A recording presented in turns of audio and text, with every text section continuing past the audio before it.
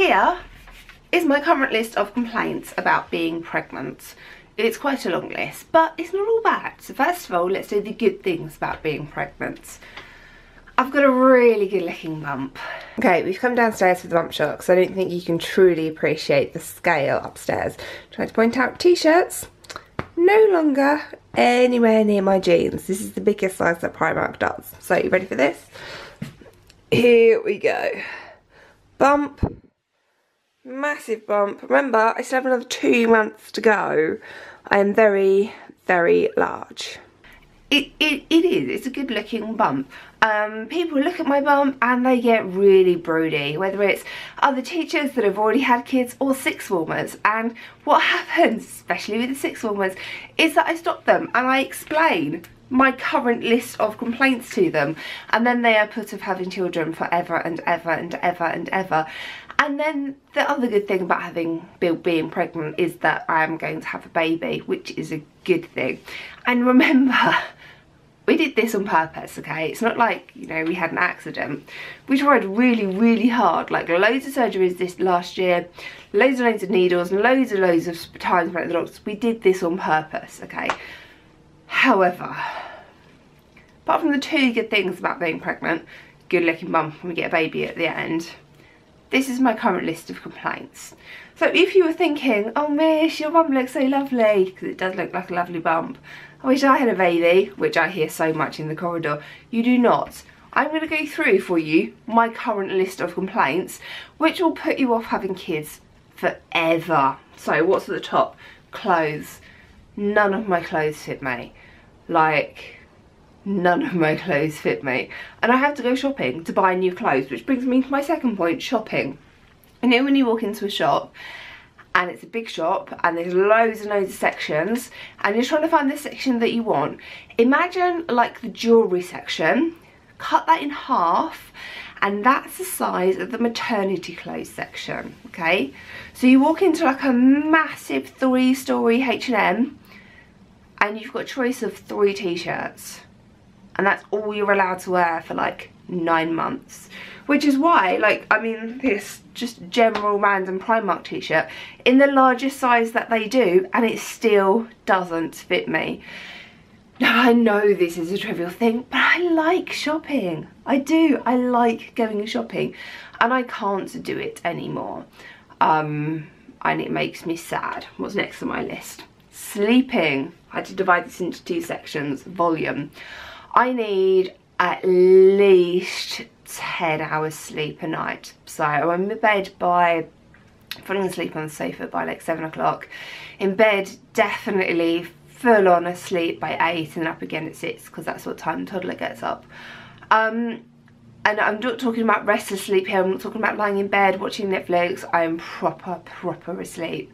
And then during the middle of the day, I have to have a nap. We're talking at least two hours. And if I don't get my two hour nap in the middle of the day I literally can't function in the afternoon. And even with my two hour nap in the middle of the day I'm asleep on the sofa by seven o'clock. I need a ridiculous amount of sleep.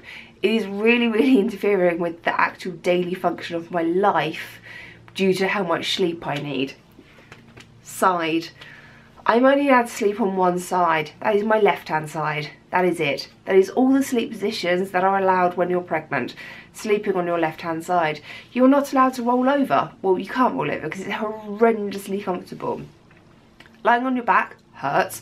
Lying on your side you can't do because there's an artery that feeds your uterus lying on your right hand side. Um, and if you lie on your right hand side then you're going to cut off blood supply to the baby, which is a bad thing. Um, so you have to lie on your you have to lie on your left hand side. And even if you wanted to change positions that actual effort of changing positions in bed is so traumatic. Sometimes if I want to shift slightly I'm gonna be like this is really uncomfortable. This is really really hurts but is lying here in pain comparable to the effort of changing position in bed and sometimes I just decide changing position is far too much effort because not only do you have to like move yourself but you have to move a massive bump as well I know I'm not explaining this very well, well but it's hard to roll over when you're so unevenly spread out okay It's great for teaching physics because my centre of mass is now completely shifted from a normal person. Heartburn. oh my god, it hurts so much. Oh my lord, it hurts so much.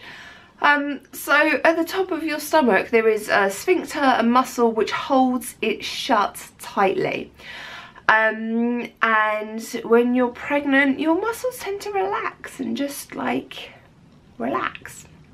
So instead of the sphincter at the top of my um, stomach being shut tightly, it's kind of like open loosely. It's like um, when you take a bottle of water and turn it on its side, if it's shut tightly, it's okay because it's shut tightly. But if you loosened the cap, it would all start to leak out. And that's what happens in the middle of the night when I'm lying down. The contents of my stomach starts to leak out and it starts to leak up here and it burns.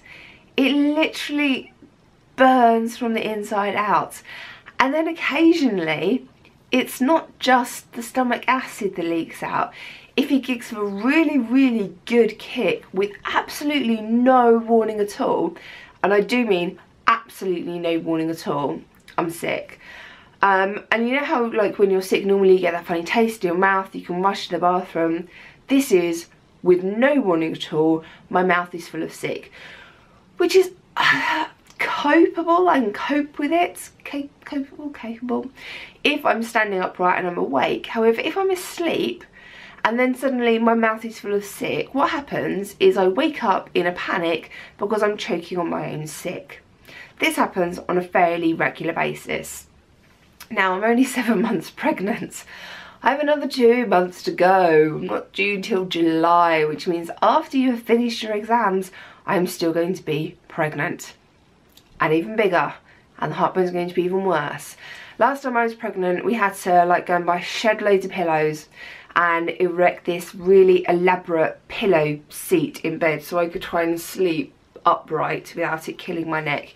It was awful. It was really not good.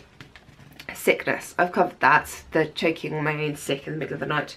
Walking. It really hurts. It hurts. Everything hurts. My back hurts. My leg hurts.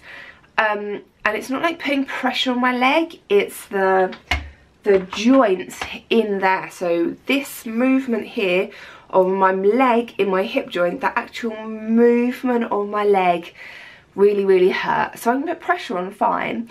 Um, things I can't do very well, move my leg, lift my feet. Sometimes, if I've been sitting on the sofa for quite a long time, I'll stand up, that'll take me a while, my husband will have to help me, and then I'll be stuck. I'll literally just be stuck in place and I'll be kind of like going, I, need, I can't move. I literally cannot lift my feet off the floor because it hurts too much. It's just ridiculous. Eating.